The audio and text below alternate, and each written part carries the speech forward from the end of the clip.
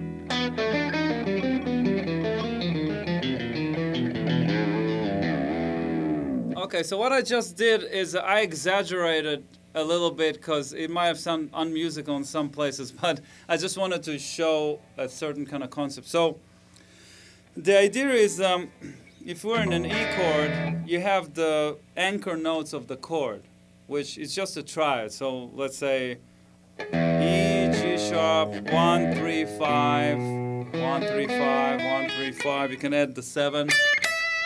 So those are your anchor chord notes. So basically you can play anything around those notes and as long as you're um, resolved to one of the note chords, you're in good shape. It sounds like you're, you meant it, even if you didn't. so the idea is if you see the notes around those chord notes, you're in good shape. That's really the trick. So if this is a triad here of an A, E, E chord. Yep. So what you want to see is you want to see the half a step below and the half a step above. So if this is a half a step below, it'll be this. I'm going to play half a step below each note of the triad. So if this is an E,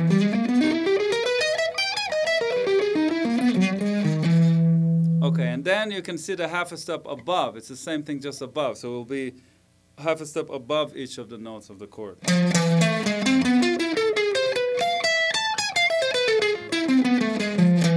And then you can have both of them together. So.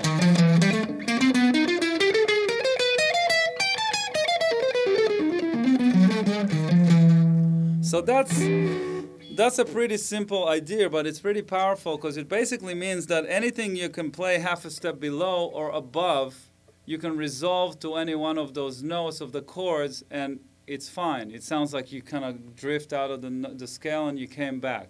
So that's what I do a lot. I can take a line, for example, like I'll take an Albert King line. Yeah, like a blues line. I can take a part of it half a step up, for example. So that's like that part when he went half a step up, that's like where it sounds kind of out.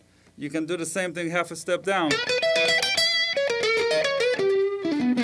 So I took that thing and I came back really quick. So you can take any line that you have and basically think about it half a step up or down. Same thing you can do with those kind of notes around the anchor notes of the chords. Like you actually can play, if this is an E,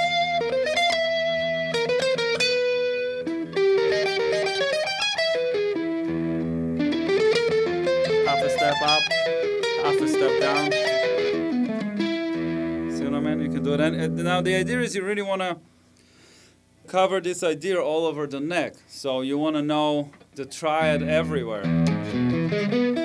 E triad.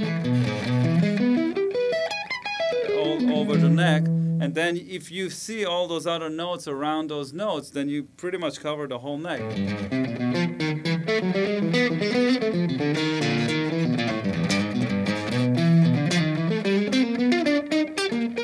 Half, uh, this is half a step down into the E. This is half a step up.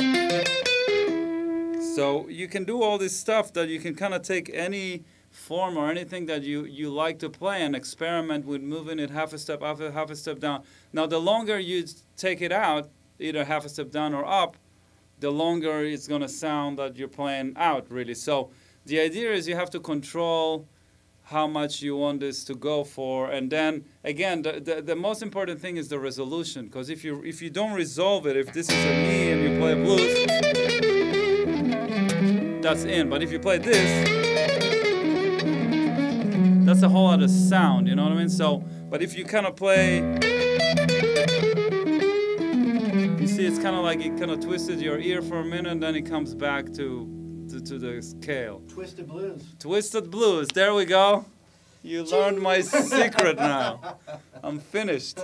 Everybody can do it. That's it. I have to find something new.